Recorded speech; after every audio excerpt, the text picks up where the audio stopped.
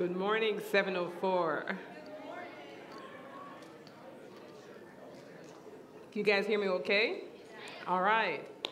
Well, it's been a wonderful morning so far. Ada, you've blessed me tremendously with that. And, right? And you know what was even the bigger blessing for me is to see how God is using you. You made a decision for Christ, you came forward, and you've allowed yourself to be open to what God's going to do through you. And so you've been such a blessing to us. So I really thank you for that. My name is Sharon Gill, and I'm on the teach team here at 704 Church. I'm also, um, I serve as a leadership strategist here for the leadership team at 704 Church. Uh, Pastor Thad asked me to introduce myself, reintroduce myself, so I brought some pictures if you guys have that. All right, so right there at the top is my love, Wayne Gill. Some of you guys know him. We, we've been married for 35 years, and um, Wayne's preached here a few times, and I think he's preaching at some point next, next month. Uh, in the middle is my son Gavin. Uh, when Wayne preached a few weeks ago, he mentioned that Gavin, who was two pounds, one ounce when he was born, Gavin was the reason that got me back into church to rededicate my life and got Wayne into church. So He's my firstborn right there. And of course, last but by no means least is my beautiful daughter, Brittany, who's here with me today, and my granddaughter, Aaliyah, who's vacationing in Florida. So that's my family, and honestly to God, they keep me grounded. I'm so grateful to them. So this week, we're going to continue in Colossians 3. Pastor Thad did the first half last week, and I'm going to be doing the second half. So we're going to pick up at 3 verses 12 to 17. But before I get started, I want to go to the Lord in prayer. Father, we just thank you, Lord. Your presence is here, Lord, and we are just so grateful for what you're doing through our church and in us individually. Lord, your word is never void. So, Father, we just ask now that we be decreased while you be increased in us and in this word. In Jesus' name, amen. All right, so reading from Colossians 3 12 to 17. Therefore, as God's chosen people, holy and dearly loved, clothe yourselves with compassion, kindness, humility, gentleness, and patience. Bear with one another and forgive one another if any of you have a grievance against someone. Forgive as the Lord forgave you. And over all these virtues, put on love, which binds them all together in perfect unity. Let the peace of Christ rule in your hearts, since as members of one body you were called to peace, and be thankful. Let the message of Christ dwell among you richly as you teach and admonish one another with all wisdom through psalms, hymns, and songs from the Spirit, singing to God with gratitude in your hearts. And whatever you do, whether in word or deed, do it all in the name of the Lord Jesus giving thanks to God the Father through him. So whenever you see a therefore in Scripture, we've, you know, we've been told that there's something that came before. So last week, Pastor Thad spoke on uh, he, uh, Colossians 3, verses 1 to 11, and he spoke about some of the things we had to unclothe, right, what to put off. And I am going to be talking about some of the virtues that we have to put on this week. So an illustration came to me while I was preparing this message, so bear with me one second. Need to use your imagination. So I'm going to be putting on a couple of sticky notes. So I'm putting on wrath. Can you guys see that? All right, so I'm putting on anger. I'm putting on just lies. And I'm putting on one more malice. And when I asked my assistant, Wayne, to come here one second. Give him a round of applause. And I'm going to put on a jacket right here. I'm going to put on my jacket. And I'm going to cover over these. So let me ask you a question. I have this jacket on, putting on something fresh and new. But is the anger, wrath, lies, and malice still there? It is, right? So this is where we want to start. Before we can truly appreciate what we're going to hear today, we have to go back to next week, and I'm not going to go back to next week. It's on YouTube. But we have to take off these things the lies, the anger, the wrath, and the malice, and all the other things we were told to unclothe ourselves from last week. All right, so That's the word picture I want you to have in your mind as we go through what the Apostle Paul was saying to the church in Colossians. And we is imagine he's saying these things to us right now. So we're going to be putting on some virtues today. But I want to start, it says, the word chosen, or elect in some translation, it says, the word chosen means God chose us, right? And when we elect a leader, right? When we elect a leader, it could be a political leader, it could be a leader of the church, it could be a leader of your board. What we're essentially saying is that we're choosing you. We're choosing you. And so, who better to elect us than God Himself? In Ephesians 1, verses 4, says, God chose us to belong to Christ before the world was created. He chose us to be holy and without blame in his eyes. Now, sometimes the word chosen triggers a reaction, right? So if you're sitting here today and you're saved, and you're, you know, you're chosen, and you may feel, it may feel positive about that. Now, on the other hand, if you're sitting here today and you're not saved, or someone that you know, is in your family is not saved, you may feel a sense of discomfort. You may even wonder, what is saved? I mean, there's some folks watching online.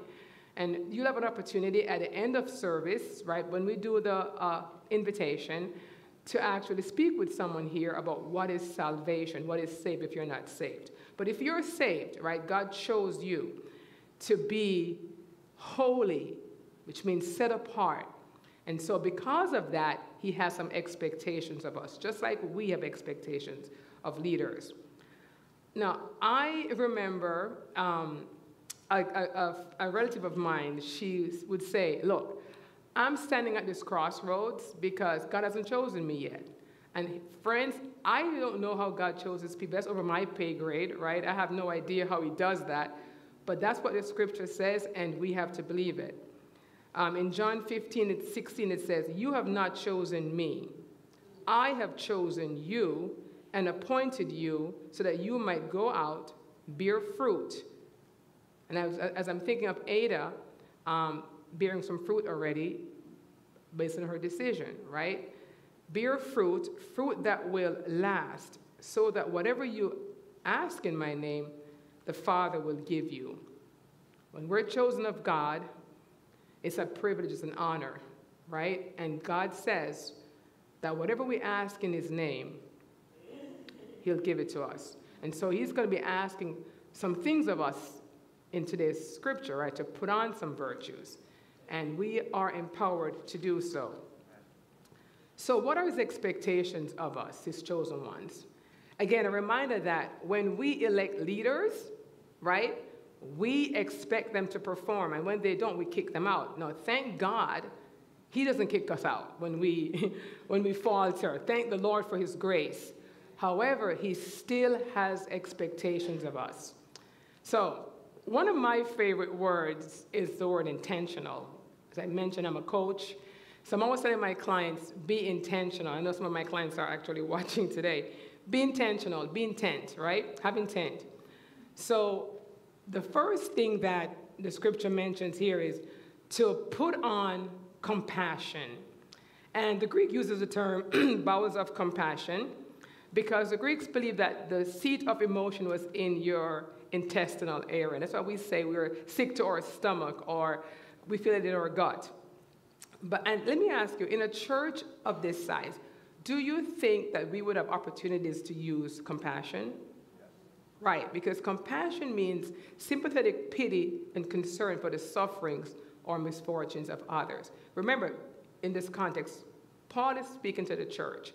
So I want you to imagine Pastor Thad speaking to our church, and he's saying, put on compassion. And I like to describe compassion as God's love in action. Um, several years ago, Wayne and I created a nonprofit, and it was called Oasis Compassion Agency. And the idea of that agency was to come alongside the church, the Church of God, church plural, and to illustrate, you know, what it looked like to have their practical needs met. And we did this through food, clothing, biblical encouragement, etc. And it was a very successful mission because it was, for, for some people, it was their first encounter with God. It was their first encounter with God, and they could see God's love demonstrated through action. And that got a lot of people to join the traditional church, right? And when, when we have compassion, when we display compassion individually, my friends, we are going to be able to attract people to us and then have the opportunity to share Christ with them. So put on compassion. Uh, the next one was to kindness, to put on kindness. You know, we have been saved by the kindness of God, who gave us his son, Jesus Christ, to die for us. It says, Be kind and compassionate to one another, forgiving each other, just as in Christ God forgave you. We live in a very unkind world, my friends. You know, we're affected by it in so many ways, right? We see social media, it has the power to do so much good. Right now, we're streaming on social media, power to do so much good. But what we often see is unkindness, even from the household of faith. And I remember years ago when I didn't have a naturally generous nature, right? So I was kind to my family, I was kind to my friends, but you know that was pretty much the limit. And I distinctly remember a cousin of mine who was unchurched, and unlike me, you know, was attending church every Sunday, she would give the shirt off her back to anyone. And I experienced such a conviction of the Holy Spirit and I, I said, you know, the question that came to my mind was, why should an unchurched, non Christian person be kinder than me, a churched Christian person? And I asked the Lord to replace the heart I have and give me a kinder heart. And the Lord did. And that's kind of how I ended up starting that charity. God did. And I am, you know, the things that the Lord is asking us to put on today, I don't want you to think of your husband or your wife or your kid or your boss or whoever. I want you to consider drawing a circle around yourself and you know see which of these are resonating with where you're at in your spiritual journey right now because we're not none of us is perfect i was challenged by every single virtue over the last few weeks as i'm preparing for this sermon I had to just keep going back to it. The next virtue is humility. And I like to look at the opposite of humility as prideful. One definition says humility is the freedom from pride or arrogance. Have you ever met an arrogant person? Anyone? Okay, they know everything, right? They're, they, you know, you can't tell them something they don't know. And I do believe that we're all, we all have a tendency to be arrogant in our areas of strength right? Remember, all of these virtues is to make the church a better place, right? So these kinds of um, wrong attitudes will not foster that spirit of community. So this is for us. Paul wasn't speaking to the world, he wasn't speaking to our arrogant boss. He was speaking to us as arrogant Christians, of Christians who weren't humble. And so, you know, we are prone to a little arrogance. And I think humility is the only antidote of pride. Pride is a dangerous thing, and it always comes before a fall. Uh, the scripture says in 1 Peter 5, verses 5, likewise, you younger people, submit yourselves to your elders. Yes, all of you be submissive to one another and be clothed with humility, for God resists the proud, but gives grace to the humble. Now, I don't know about you, I don't want God resisting me because I have way too much prayer requests for God. I need to be in His grace, right? So, a humble person is teachable. A prideful person is less so. When I think of a prideful person, I think of Romans 3:23. It says, "Through the grace giver, given to me to everyone who's among you, not to think of himself more highly than he ought to think, but to think soberly, as God has dealt to each one a measure of faith. I use the term being self aware, right? Be self aware, but be sober minded in your self awareness, right? It, be sober minded in your self assessment of yourself. Christ gave us the best example in Philippians 2 6 to 8, one of my very favorite passage of scripture. Christ, who being in the very nature God, did not consider equality with God something to be used to his own advantage Rather, he made himself nothing by taking the very nature of a servant, being made in human likeness, and being found in appearance as a man, he humbled himself by becoming obedient to death, even death on a cross. You know, humility is asking you to step back a little bit from your rights, to step back a little bit, be more gracious, right? You don't have to always, we don't have to always be right, right? We don't have to always, you know, um, want to be uh, perceived as, okay, the greatest thing, right? Step back a little bit from your rights. I mean, if Christ could do it, certainly we could. And I would say the cousin of humility is meekness, which is the next virtue that we're asked to put on. And we oftentimes think of meekness as a mouse, meek as a mouse, something or someone scampering away. But the definition of meekness that I love is strength under control, right? Strength contained. Now that takes something, that takes character. You know, Moses was, was called the meekest man on the face of the earth. But remember, Moses was the same guy who killed an Egyptian with his bare hands. Moses led two million people in the desert or in the wilderness. Moses also struck that rock, right? So he's not a, he wasn't a timid, shy person. But here's what happened to Moses, right? Moses was that way, I think, mostly in his BG days, his BC days, his before God, his before Christ day.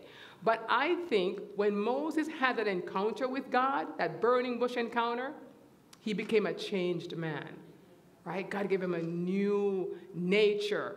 And I think that's what Christ is saying to us, right? Paul is saying to the Colossians church, hey man, you've been, you've been clothed in Christ now, right? So your nature should change. Your nature should change, right? Our nature should change. We shouldn't be that BC person. If we're still that before Christ person, we have work to do. And that's why I'm saying today, as we, we hear these different virtues that we have to put on, the circle should be drawn around ourselves. It's not to the left or to the right. It's around what is God saying to me right now. Um, so, you know, Jesus, right? I, I, like his example. He, he washed his disciples' feet. And I, he could have easily said, hey, guys, we've been together for three and a half years now. You've seen my miracles. I'm about to be crucified. Let me give you guys the honor of washing my feet. He, I mean, it would be justified. But instead, we know he didn't do that, right? We know that he wrapped a towel around his waist, got on his knees, and washed those disciples' dusty sandaled feet. That's the picture of humility and meekness. Christ was Christ, God in flesh, yet he contained his strength, he controlled his strength. It was his strength contained. And that's what he's asking us to do. We don't have to always be in our strength, not for the body, of Christ. See, we are one body, right? as Christ said. He said, you know, some of us are eyes, head, you know, fingers, toes, whatever. You know, that's the head, you know, uh, you know, maybe a finger, etc. But if I, you know, if my toe should say to me, I didn't like the color of your nail polish, I need, I'm going to go, and I'll be toeless, right? And if my arm said, I don't like that leg, and now I'm, I have one arm, right? So that's the whole picture. We're a body, and so we have to work together. And what Paul is saying to the Colossians church is in order for us to really have this wonderful unity, we have to put on these virtues. Uh, the next one is patience, or some translations say long suffering. You know, my, my six year old granddaughter said to me recently, Hey, Grandma, I learned a new word. I said, What's that word? She said, It's perseverance. I thought that was interesting. I said, What does it mean? She said, sticking to it. So long suffering, like kindness, is one of the fruits of the Holy Spirit. In Galatians 5:22, it says, "But the fruit of the Spirit is love, joy, peace, long suffering, kindness, goodness, faithfulness." And this means that in every spirit-filled believer, we have the capacity to be a long sufferer, a patient person. And it is defined as having or showing patience despite troubles, especially troubles caused by other people. So it's to be long tempered, patient. Again, this is not a show of weakness, but a show of inner strength, grace, and patience.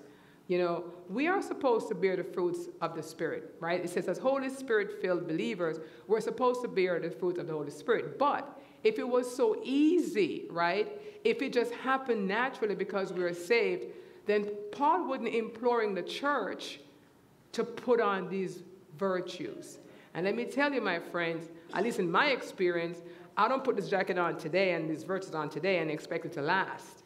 I have to put them on every single day in almost every single interaction in life, at home, in business. I have to put on these virtues because I'm representing Christ. The next one was bearing with one another. Oof, okay. Again, being patient with one another. When you hear the word bear with one another, you think of church, right? Got to beer with people. I believe this should start, though, at home, right? In your inner circle. If you're married with your spouse, you know, bear with your spouse, right? Bear with your kids. In a group this size, I am certain that this morning, on your way to church, there might have been at least one couple who had a little bit of a dust up. And if, oh, someone's laughing. If that's you, raise your hand, right? and here's the thing, right? Words like hurry up can be very triggering for a wife who's putting on her makeup, okay? Don't say hurry up. But that's triggering. Bear with one another. And in a church setting, we're all so different, right? We have different cultures. We have different races. We have different political leanings, different preferences, organs versus piano, praise team versus hymn, choir. All these differences. And sometimes we will not always agree. But here's the thing, though, right? If we just keep getting up and leaving every time we disagree, we could disagree with the pastor. Then that's not bearing with one another, right? When you're annoyed, when you feel okay, your feelings get hurt, our job, my job, and your job is to go before our Holy Father and ask Him to give us His perspective, not your perspective, because our hearts are deceitful above all things, desperately wicked, the scripture says. So never trust your heart, never trust your judgment. If we are in a group together, whether it's at the office, your workplace, or here for sure in church, Paul is speaking to the church. He's speaking to the church. And he's asking the church, bear with one another. We can't just get up and leave all the time when something doesn't feel good. All right, next one is forgiving one another. So bear with each other and forgive one another. If any of you has a grievance against someone, forgive as the Lord forgave you. Now, this is a given. People are going to have grievances, right? But the last part of that scripture is how I can forgive people. It says, Forgive as the Lord forgave you. I can forgive people who hurt me from that one statement. Christ forgave me, period. I must do the same. And so I, if I'm still struggling with forgiving someone, because look, you know, sometimes it takes a little while, you know, it takes a couple days, two days, three days, someone gets, you know, gets you mad. But I have this internal conversation with myself that goes like this. This is God talking to me now. Sharon, remember when you did such and such, and only you know, or you and a few people know? I forgave you, right? and I'm still using you. Hey, I'm in the pulpit today, right? I'm using you. I forgave you. You can do the same. You know, I am not saying that, you know, when you forgive someone, you know, because some hurts go deep, that you have to become their best friend again. I'm not saying that, right? You don't have to continue in a relationship. You don't have to. Some hurts really, really run deep. But forgiveness is how we get healed on the inside. We cannot have unforgiveness in our hearts and have a great relationship with God at the same time. It will not happen, my friends. It will not be a great relationship. It will be a partial relationship with Christ. I heard a pastor say recently, do not drink that poison of unforgiveness. And he's right. Because you and I are the ones who will be dying, right? So this conversation between Peter and Jesus cracks me up. You know, in, in uh, I think it's Matthew, Matthew uh, 18. It says, Peter came to Jesus and said, asked, Lord, how many times should I forgive my brother or sister who sins against me? Up to seven times? Jesus answered, I tell you, not seven times, but 77 times. And some say seven times 70. Peter thought seven is a number of completion, right? So if I forgive someone seven times, I'm good. And Christ was making the point that no, not seven times, 77 times. And it doesn't mean that on the 78th time it's over, right? He was making the point that just keep forgiving. And I thought, I thought to myself, right, how many times has God forgiven me? And I thought thousands. And let me tell you why it's thousands. I'm not a bad person, I promise you, but every, God is so holy that we sin in our thought life, right? So every time a sinful thought comes to me, I have to ask God for forgiveness. So if I have one of those per day, 365 days a year, right? Times however old I am, 50 something, that's a lot of thousands. And so this is what Christ is asking us to do, right? To forgive. Again, I'm not saying that hurts don't run deep, but I'm saying that the forgiveness is for you, it's for us as a body, right? And then love, the biggest one, love. Over all of these virtues, put on love, which binds them all together in perfect unity. Love is the big bow that we wrap around all these virtues I already spoke about. It's the unifying force that serves to glue us to each other, especially as believers in Christ. Friends, if we can't love each other, you know, it's, it's, it's going to be hard to have a cohesive church, to grow our church. We have to love each other, right? It's the first of all the spiritual gifts listed in Galatians 5:22. But the Holy Spirit produces this kind of fruit in our lives: love, joy, peace, patience, kindness, goodness and faithfulness. Love is a core aspect of God's character. God's love is not in conflict with his holiness, though, or his justness. Read that somewhere. And what this means is that not because God is love, it means that he won't judge us when we get off track. But God is love. And in 1 John 4 16, it says, We know how much God loves us, and we have to put our trust in his love.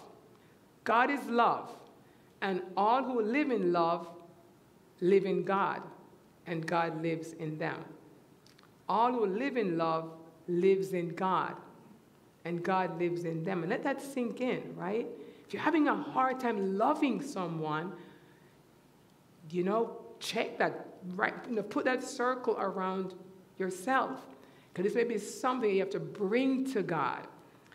You know, I, if someone says in, in John, 1, 1 John 4.20, if someone says, I love God, but hates a fellow believer, that's to us, the church, right?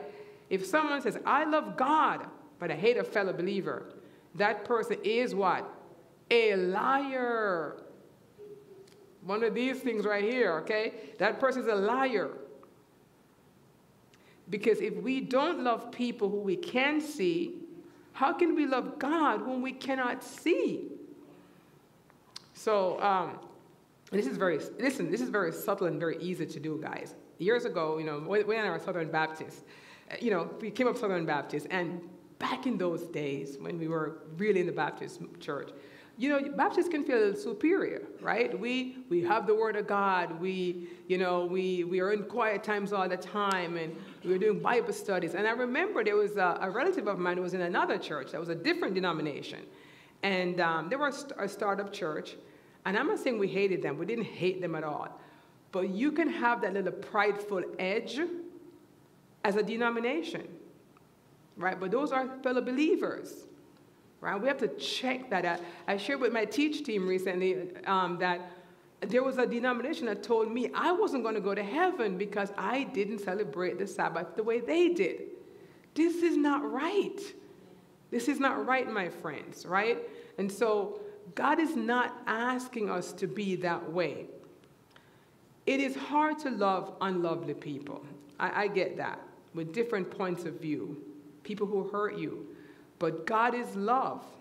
and we can ask Him to change our hearts. Paul was speaking to the people in church.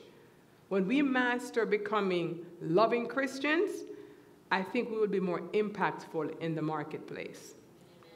Right? But we got to master it here first. And then peace. Let the peace of Christ rule in your hearts, since as members of one body, you were called to peace and be thankful. So now Paul was saying, hey, among you members, live at peace. But I believe, though, for us to live at peace among members, we have to first find peace individually here. So, we have to find the peace of God in our individual hearts, and we will see peace in the church. Now, how do we get that peace in our hearts? Psalms 34 14 says, Turn from evil and do good, seek peace and pursue it. Remember, I said how, as Holy Spirit filled believers, you know, peace is a natural fruit. But then it's saying here, we got to seek peace and pursue it. How do we get God's peace? How do we find that peace to deal with the daily challenges of life? The diagnosis that you're going to get, the, the financial problems, the, the marriage issues, the kids' issue. How do we get that peace? I know many Christians feel guilty because they don't have God's peace. Where is God's peace? Here's a hint Isaiah 26, 3 says, You will keep him in perfect peace whose mind is stayed on you because he trusts in you. How do we keep our mind stayed on God? How do you think, guys? Keep, keep in the Word, keeping prayer, keeping fellowship continuously. I want to share a personal story recent that happened to me recently. Some of you know that last November, I got that um, dreaded phone call, a dreaded phone call from your doctor. Mrs. Gill, your biopsy came back positive for breast cancer.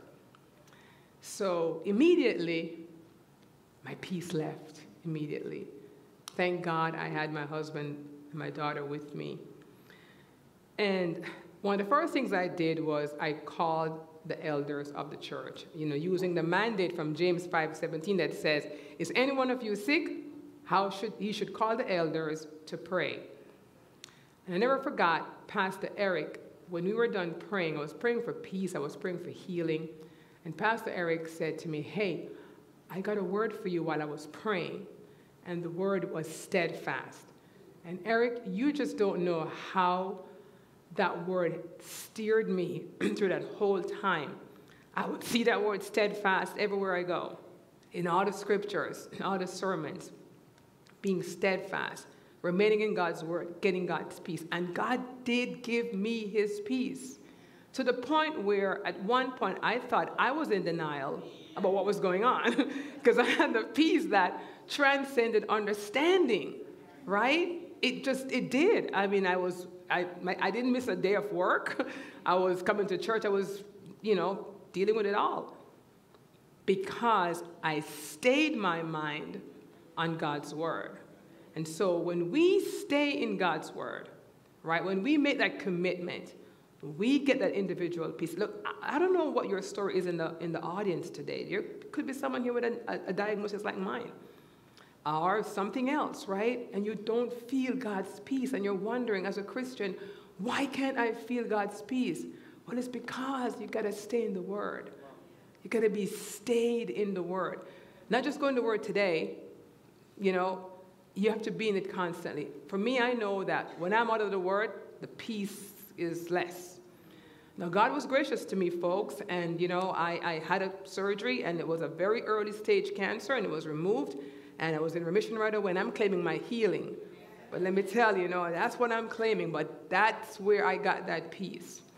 And so, peace is contagious. Peace is obvious. People can see it and they can sense it in you. And so, imagine when we have our own individual peace and we come together as a body of believers and we have peace among us, we're bearing with each other, right? We're being humble, right? We're being loved. When a visitor visits our church, they'll feel the peace, right? And it's just like when you visit people's home. Sometimes you can feel that tangible presence of peace, and you can also feel that tangible presence of wrath as well. And the next virtue, and I, am unpacking just a few more of these, it says, Be thankful and be thankful. I like to say, practice gratitude. Thank God before you ask Him for something else. Thank Him for your spouse, right? Thank for people who do things for you, little things. Your spouse, thank her for cooking. Thank your husband for holding on his job. Thank your friends, they're golden. Thank your kids.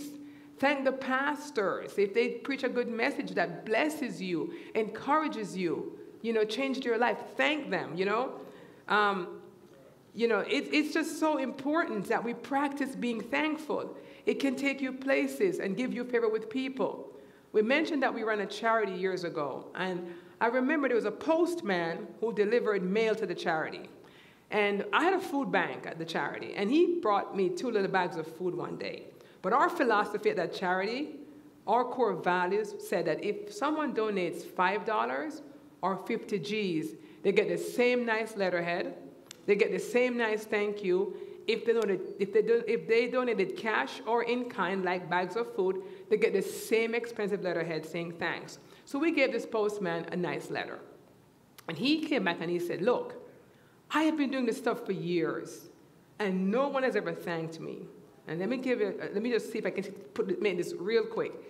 He then went back to his post, post office, and then he got another post office involved, and they got the union involved. And then our agency became the recipient of the postal drive, 75,000 pounds of food every year for like 12 years. In addition to that, he said, when I was younger, I was poor. And it was a charity that actually gave me a Christmas gift. So I want you to create a program for the kids. And so I got with my kids, and we came up with a program called Touch a Heart for Christmas. Again, that postal office and the uh, adjacent one as well, they gave 300 kids every year their desires, including a bed, because there were kids who were requesting beds, because these were poor kids, and they, would, they were allowed to write anything they wanted.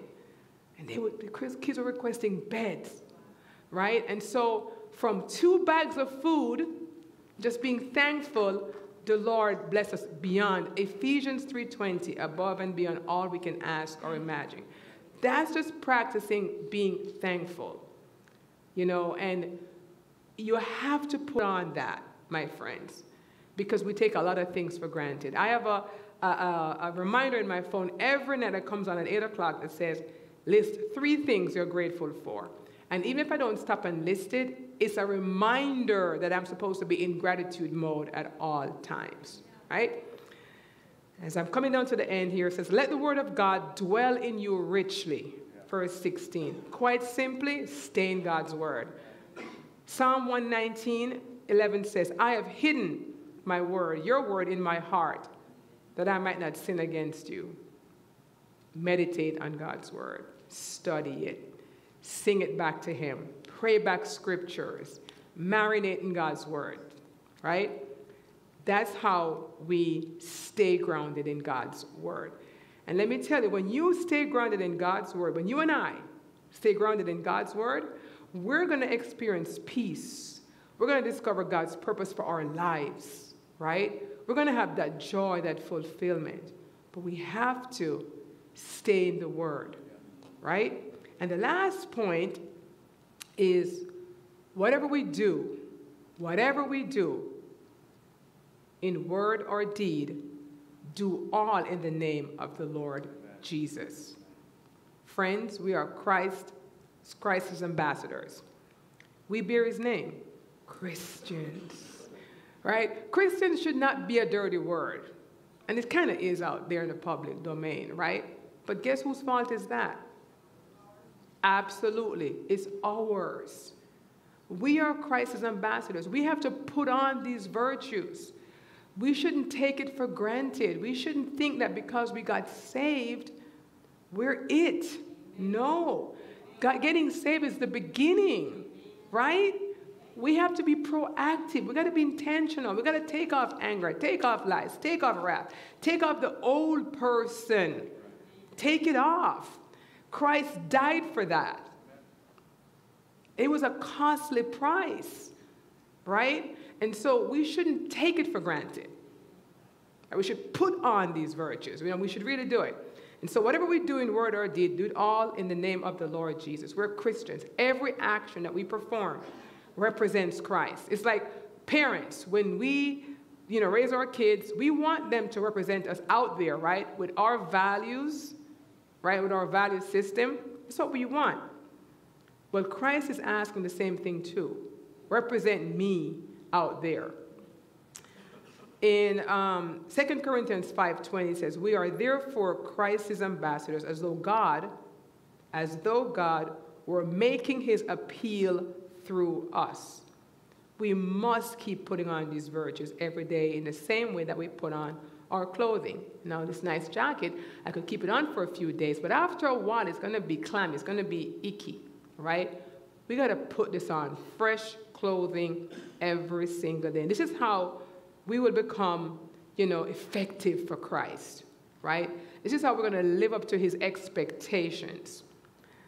Over the next week, I am going to challenge each of us to put on these virtues, especially love. Because remember, love is a big bow that wraps around it all.